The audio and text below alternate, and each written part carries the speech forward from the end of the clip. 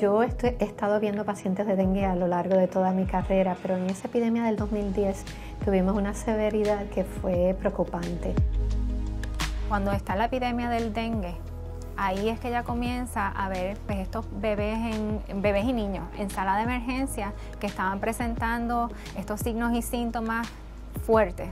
Y entonces ella trata de determinar si hay alguna manera en la que podamos saber identificar de manera temprana que es dengue versus cualquier otra cosa. En Puerto Rico el CDC vio la necesidad de entrenar mejor nuestros médicos para manejar esa fase específica de la enfermedad.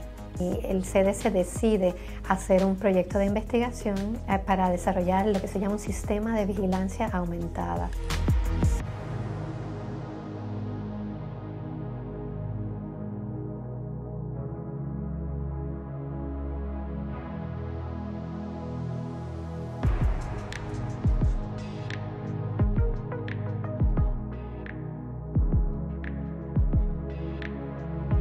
Este sistema ha podido capturar las epidemias de dengue en 2012-13, chikungunya y como ustedes saben ahora el Zika.